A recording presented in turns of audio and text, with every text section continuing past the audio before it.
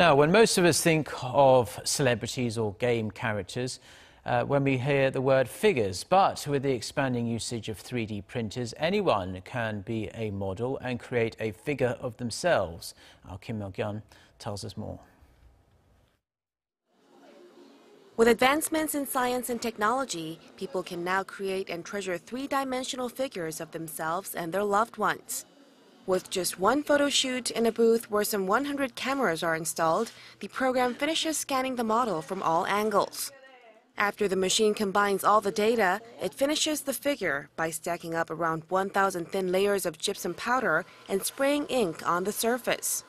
The size of the figures can vary from 5 centimeters to 30 centimeters, with price tags ranging from 26 to $260.